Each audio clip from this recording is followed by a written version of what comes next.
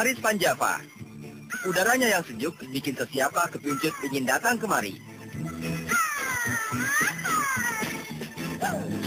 Ya, ayah digigiran. Di Ciwidey, di selatan kota Bandung, ada tempat pelesiran yang sohor. Namanya Kawah Putih.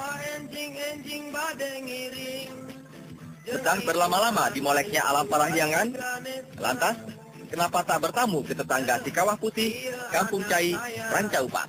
Kasep pager soleh nurun ti papana Jadu kawas kaki seer warna-warni Ini dia, wisata alam yang menyuguhkan hutan pegunungan yang alami, asri. Bumi perkemahan ini memang pas untuk bersantai keluarga, pun pelesiran rombongan anak sekolah. Di bapak bagikan Dingin banget pemirsa di sini seger banget udaranya. Ya, saat ini saya berada di kaki Gunung Patuha. Itu dia tuh Gunung Patuhanya. Kelihatan kan? Ya, tepatnya di bumi perkemahan Ranca Upas di Ciwidey, Bandung Selatan. Ya, banyak kegiatan yang bisa dilakukan untuk mengisi hari libur. Tapi bagaimana dengan kegiatan terbuka seperti beroutbound ya atau camping? Hmm. Ya selain bisa mengenal lebih dekat dengan alam, kegiatan ini juga banyak manfaatnya. Dan tentunya seru banget. Gimana serunya? Yuk kita gabung dengan adik-adik yang ada di sini.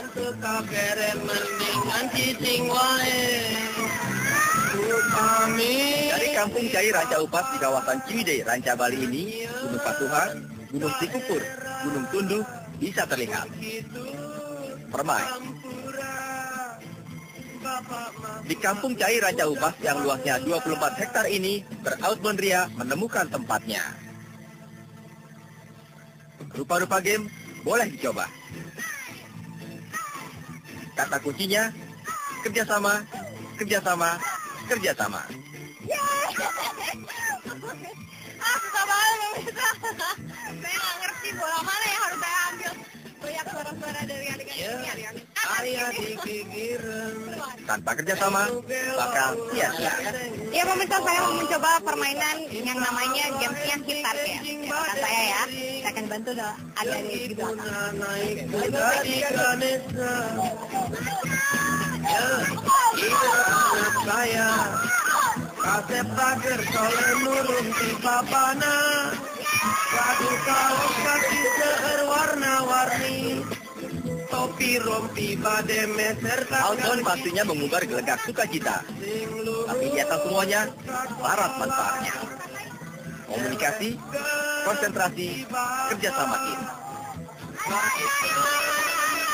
Game Flying Carpet ini lagi-lagi membuktikan betapa kerjasama mutlak adanya.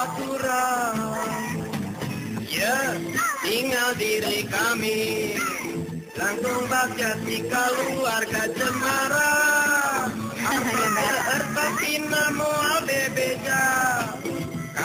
Ya pemirsa, saya mau lomba nih sama Karina ya. Siapa duluan yang sampai di atas? Mulai dari sekarang.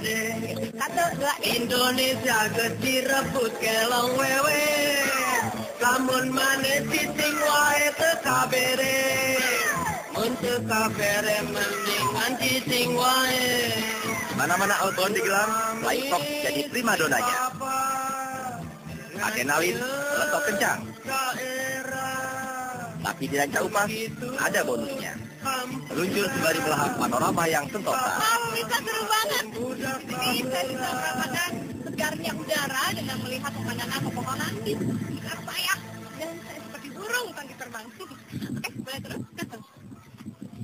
Deg-degan apa aja? Deg-degan, terus tapi seneng kok. Enak. Ya. Enggak. Enggak. Main lagi nggak? Main. Di sini juga ada rumah pohon yang lekat dengan jagat bocah-bocah. Ya, ayah digigir Pemirsa saya udah mirip Tarzan dong. Iya, saya lagi di rumah pohon nih. Ini biasanya rumah pohon ini banyak digemari oleh anak-anak untuk tempat bermain. Tapi ternyata ada loh yang menjadikan rumah pohon sebagai tempat tinggalnya. Mereka adalah suku Korawa yang ada di Papua sana. saya Kasep pager soleh nurun di papana Gaduh kaot kaki Hawa Ciwidey boleh dingin, tapi Ciwidey memang lengkap. Sumber mata air panas alami terserak di sini. Di kampung Cai Raja Upas ini juga sedia kolam air panas. Datang mengalir dari Gunung Tunduk dengan suhu 36 derajat Celcius. Ini Pak, saya lihat kan airnya jernih banget. Ini yang mau tarik lagi apa gimana? Enggak langsung ini dari alam ya, memang alami yang nyarinya juga alam gitu.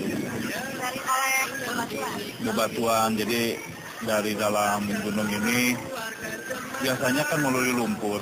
Nah ini melalui eh, sela-sela batu, jadi keluarnya airnya jernih. Berapa ongkos buat mereguk segala yang menjanjikan suka di kampung Cai Raja Upas? Cukup bayar Rp10.000 saja. Ya pemirsa, jalan-jalan kita belum selesai sampai di sini. Dan jangan ke mana-mana, karena setelah ini kita akan ke penangkaran desa. Tetaplah bersama kami di Pagi Pagi aja depan.